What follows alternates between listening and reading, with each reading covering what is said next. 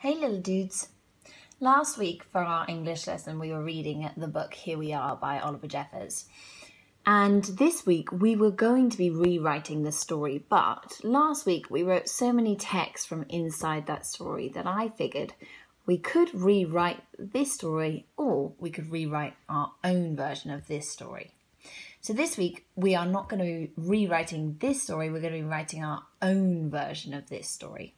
And this book we're going to be writing is going to be for your new teachers, Mr. Forward and Mr. Adkins.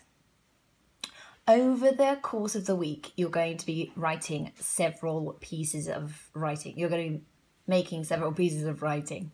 So we're going to start our week with one lesson where we're going to write one text then we're going to build up and we're going to write five pieces of text and then we're going to make a book out of it all on Friday. So, your completed book will have the title Here I Am, Notes for Teaching, and then your name. Notes for Teaching Dakota, Notes for Teaching Elsa, Notes for Teaching Raphael, Notes for Teaching Charlie, Notes for Teaching Taylor. Okay? Notes for Teaching You.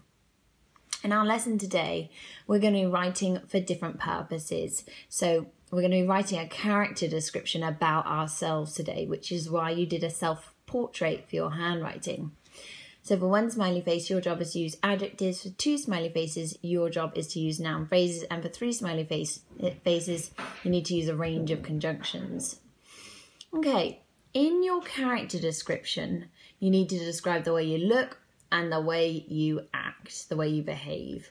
Okay, I've got a little bit of information about noun phrases there just to refresh your memories because we haven't done any learning on noun phrases for a little while.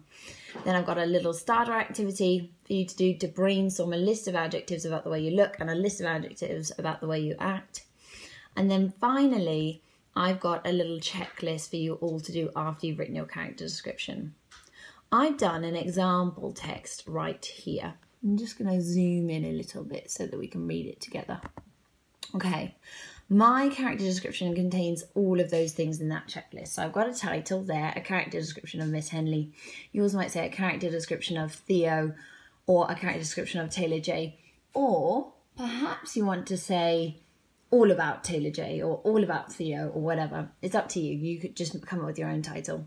Then I want you to have three subtitles one about looks, one about the way you act, speak, and move, and then one final subtitle about the way you think and feel. Okay, I'm going to read you my character description right here. Guys, get imaginative with it. You could use similes, you could use metaphors, you could do whatever you want, but remember, we're describing, and descriptions always contain a lot of adjectives. That is your main learning goal for today. Miss Henley is fairly tall for a lady though it's difficult to tell her height as she is often wearing high heels. Remember, we're describing the way I look here. We're not describing the way I act. We're going to do that later. So this is all about the way I look. She has light brown wavy hair which is usually wrapped into a bun and covered with a headscarf to cover up the grey hairs which are now popping up overnight. What a nightmare, that's actually true.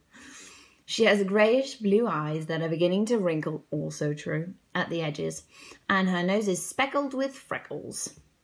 Her dresses are always, oh, are always, that should say, are always, stained or torn, as most of her clothing is vintage, and she wears a lot of golden jewellery. The way I act and speak. Clumsy, Miss Henley, because I am ridiculously clumsy. I'm always covered in cuts and bruises. Is always bumping into things, dropping things, and breaking things. And then I've given an example. Examples are really, really important. It's really important to provide evidence for your reader. For example, she broke the ring she received for her 30th birthday present. Her right hand, which just happens to be her writing hand, doesn't work too well, so wherever she writes or draws anything on the board, it's really hard to read. She's always repeating the same adjectives, saying everything is awesome, and she's forever calling the kids in her class scallywags, dudes, or munchkins. Greedy Miss Henley never stops eating, even when she teaches. The way I think and feel, Miss Henley loves good manners and thinks children who have good manners will grow into adults with good manners. She loves to be cuddled, totally, totally, totally true, especially by the children who she teaches, who she likes a lot. She can sometimes get Hulk style angry when she's disappointed by someone. However, most of the time she's fair. So I've done a paragraph about the way I think and feel, a paragraph about the way I act and I move and I speak, and a paragraph about the way I look. It's your job to try your best to include all of those features in your text type today and just describe yourself so, so well.